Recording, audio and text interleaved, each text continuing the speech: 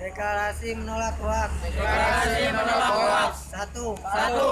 Kami warga masyarakat Sembang Pasir menolak dengan tegas Kami warga Sembang Pasir menolak dengan tegas penyebaran berita hoak penyebaran berita hoaks baik melalui media massa baik melalui media massa maupun media sosial lainnya. maupun media sosial lainnya. Dua. Dua.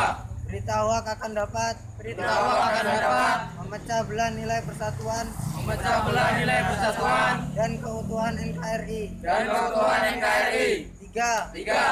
Mendukung aparat kepolisian Mendukung aparat kepolisian melakukan melakukan penegakan hukum penegakan hukum terhadap semua pelaku pembuat terhadap semua pelaku pembuat dan penyebaran berita hoak. dan penyebaran berita hoaks. Empat. Empat. Agar polisi mengusut tuntas ta- terhadap Agar polisi mengusut tuntas terhadap semua pra- para pelaku penyer- penyebar hoak, para pelaku penyebar hoaks, baik yang sudah tertangkap. Baik yang sudah tertangkap.